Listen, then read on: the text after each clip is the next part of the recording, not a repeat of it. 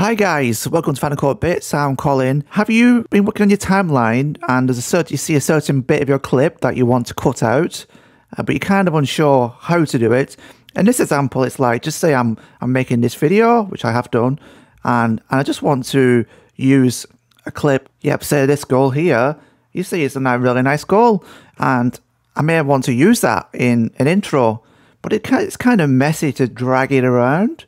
You kind of messing your work. And so, how can you kind of cut that out without kind of messing? You know, if I just start cutting it out like this, and I'm just destroying my original my original clip, which I don't want that. So I'll tell you the technique to do it. As always, Option kind of drag duplicates a clip. So you just lift it above basically. So then you've got two on top of each other, and then you find the part you want to cut from you just work like you cut it like you normally do. So you press Option left bracket to that's it, and uh, Option right bracket.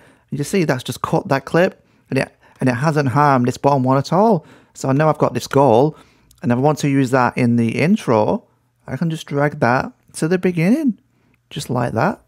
And I might I might like another section that I want to use as well.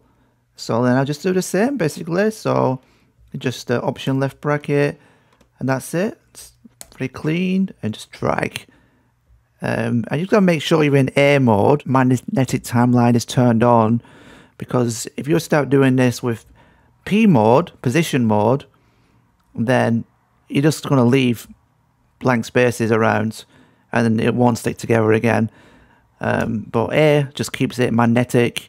P doesn't but in, in this case you want it in A just drag it to the beginning. So then you've got little little bits of the footage, which you can, you know, it's always a good idea in a video to kind of put some interesting points at the beginning so the people know what they're kind of getting into at the beginning with a video.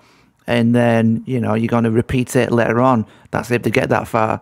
So yeah, I hope that helps you. And uh, if, you, if you find these videos useful, please subscribe, hit the like button if you fancy.